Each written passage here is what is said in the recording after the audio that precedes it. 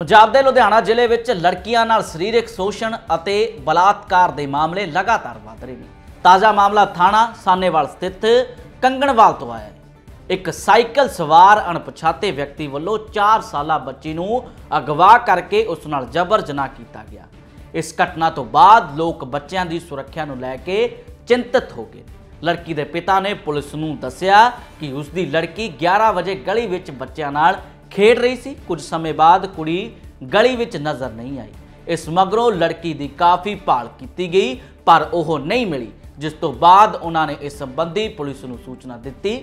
ਜਾਣਕਾਰੀ ਅਨੁਸਾਰ ਮਾਮਲਾ ਦਰਜ ਕਰਵਾਉਣ ਦੇ ਕੁਝ ਸਮੇਂ ਬਾਅਦ ਸੂਚਨਾ ਮਿਲੀ ਕਿ ਜਸਪਾਲ ਬੰਗੜ ਦੇ ਰਸਤੇ ਵਿੱਚ ਲੋਕਾਂ ਨੂੰ ਬੱਚੀ ਮਿਲੀ। ਪੁਲਿਸ ਨੇ ਇਲਾਕੇ ਵਿੱਚ ਲੱਗੇ ਸੀਸੀਟੀਵੀ ਕੈਮਰਿਆਂ ਦੀ ਜਾਂਚ ਕੀਤੀ। ਫੁਟੇਜ 'ਚ ਦੇਖਿਆ ਜਾ ਰਿਹਾ ਹੈ ਕਿ ਅਣਪਛਾਤਾ ਦੋਸ਼ੀ ਲੜਕੀ ਨੂੰ ਸਾਈਕਲ ਤੇ ਬਿਠਾ ਕੇ ਲੈ ਜਾ ਰਿਹਾ ਹੈ। ਪਰਿਵਾਰਕ ਮੈਂਬਰਾਂ ਨੇ ਥਾਣਾ ਸਾਨੇਵਾਲ ਵਿੱਚ ਅਣਪਛਾਤੇ ਮੁਲਜ਼ਮਾਂ ਖਿਲਾਫ ਕੇਸ ਦਰਜ ਕਰ ਲਿਆ ਹੈ।